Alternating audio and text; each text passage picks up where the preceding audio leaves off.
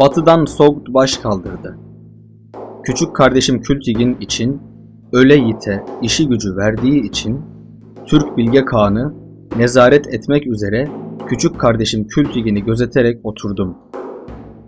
İnan şu apa yarkan Tarkan adını verdim. Onu övdürdüm.